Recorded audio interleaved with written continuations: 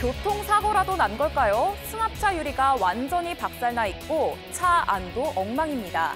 파리올림픽 참가를 앞둔 호주 사이클 대표팀은 밤새 차에 모아둔 짐을 모두 도둑 맞았습니다. 파리로 들어가기 전 벨기에 브리셀에서 잠시 머물렀는데 이런 낭패를 당했네요. 다행히 대부분의 짐이 숙소에 있었고 무거웠는지 경기에 쓸 사이클을 훔쳐가지 않았다고 합니다. 얼마 전 파리에서도 한 호주 여성이 성폭행을 당하는 일이 있었는데 올림픽을 앞두고 치안에 대한 우려는 잦아들 기미가 보이질 않습니다. JTBC 뉴스를 시청해 주신 여러분 고맙습니다. 저희는 저녁 6시 50분 뉴스룸에서 뵙겠습니다.